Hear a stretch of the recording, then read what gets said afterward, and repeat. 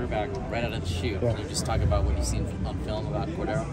Yeah, just you know, real, real slippery. You know, has uh, can make a bad play good. You know, and so that that's. Uh, I mean, in, any more, you know, the surprise as a, as a defense to, to say you got to scramble a scrambling quarterback. I mean, if you're surprised by it in this day and age, shame on you. So I mean, it, it's uh, it's our expectation every single week. It doesn't make it any easier to defend, you know. And so, you know, both both found this, the uh, you know the ability to get yards downfield, just extend plays, and man, it thins you out, you know, in every which way. And so, it's easy to say to spy a guy and all that stuff. That means you're not rushing as many as you like to rush, or you're not putting as many guys in cover. So yeah, it's, it, it gives you major fits. It always has and always will. What was the big factor in moving Lucas from rush end to D and late in camp? Yeah, just continue to move guys around, trying to get the best 11 on the field. I mean, none, none of those those edge positions for us um, are, are, so similar. Um, and, and so, you know, from a job description standpoint, we, we feel very confident moving moving guys back and forth and best, you know, trying to get the best, I guess, four in the front and then the best four behind them. And so, whether to the field or to the boundary, two point stance or three point stance, I, uh, trying to be multiple that way. And so, he, he's a guy that can do both those things, as uh, you know, other guys as well. So, we expect him to, to play both those spots. We know how talented a guy like Domani is, but he's coming off injuries the way he is, just what are some of the main hurdles that you're kind of looking for in the past to kind of get get back to who we who we expect him to be, who we know him to be? Yeah, I think for you know a young guy in, in particular, when you add the, the injury component, you know, we tried to force feed him a little bit when we could a year ago. It probably wasn't completely fair to him, to be honest with you. But there's only one way to get better. It's, it's game reps, and obviously to get those game reps, you got to do on the practice field. And so, you know, Sterling was not 100% last year, and, and uh, um, but but had a good spring forth. And I think just as you get the cumulative reps, the confidence comes with it. You know, and, and you see so many different things. The nice thing for him is he's been healthy. He was kind of kind of supposed to be on a pitch count in spring, and then very, very quickly, you know, kind of came off of that and kept going, kept going, kept going, which allowed him to have a good, good spring in terms of volume. Same thing into the summer, which he didn't get a year ago. Either of those two things, um, and then been, been, been healthy and working, and uh, no, could not be any higher than on, on Domani. I mean, it, it's now you got to go do it on Saturdays. We, we understand that, but uh, you know, been very pleased with him. So it's, a, it's an exciting young player. It seems like uh, Tackett's getting a lot of you know run with the first team right now against the, the scout team. Do you expect he's going to play a lot of snaps in week one against Innova? Yeah, he'll, he'll have a major uh, you know, part of the defense. You know, a guy that's here in the spring and, and, and you know, plays the game right way. Um, and could not be more positive on Tackett for a freshman to come in here and, and you know learn, understand, but but but you know also kind of be the model how you want you know a guy to play. You know, and, and it's been one of those guys that you know the head coach has, has pointed to in team meetings just from a um, you know an effort standpoint. Now you got to make sure he's going in the right direction. But he's one of those guys that you know the direction is going to be the football eventually, right? So um, some sometimes there's other responsibility before you can just go see and hit the thing, but. Uh, that's a pretty good quality to, to, start with. Is that something you knew coming out of spring camp, or did injuries during fall camp kind of accelerate that? Yeah, I mean, I think injuries in, in any position just you know give, give guys an opportunity to, to, maybe get where they would get four you know four reps in a period, they get eight reps in a period or something like that. Now you got to be smart that way, that you're not uh, you know overusing guys. But uh, no, it, it, gives a guy a chance to all of a sudden instead of running with the, the, the, threes early on, he runs with the twos or the twos with the ones, um, and, and that the expectation goes up right as the, as the group goes up type of thing. And so um, no, he, he's taken advantage of that, and uh, uh, I think he's, a, like I said, a, a, very good young prospect that we're excited about. Has Jamil exceeded expectations coming over from Georgia State?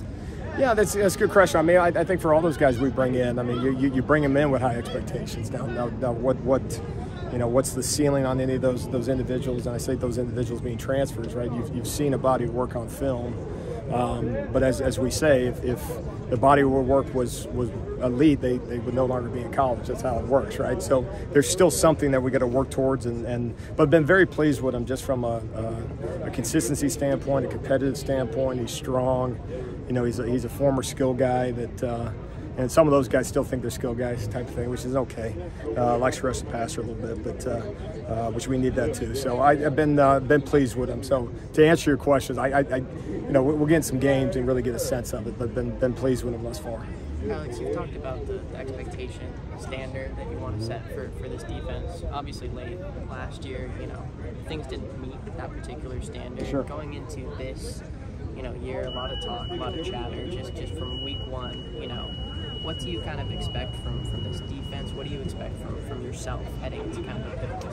Yeah, I, I think you know every season is pivotal. I think, and every season is, is, is new. Right? We, don't- we don't get credit.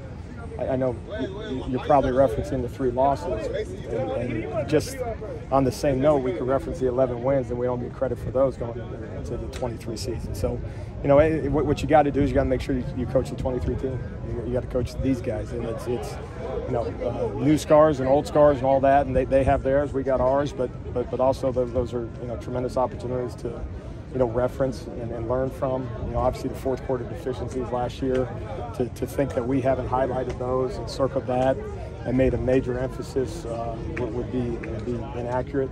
Um, which had a major impact. As you tell the guys, 15 minutes can change the whole season. Um, and, and you have you know a couple weekends that way, you know, 30 minutes on a 12 month you know, 12 month scale, uh, in 30 minutes, 45 minutes changes your entire world. And so just having an understanding of that. And so what, what that does, I'm just referencing that as, as, as much as anything because, you know, you got to learn from those things and, and reference that. And, but no, awfully excited to get on the field with these guys and, and we understand the challenges starting this weekend. You talked a lot about tackling last season and, and that, that one guy who kind of has to finish the play. Where is your group at in terms of those categories?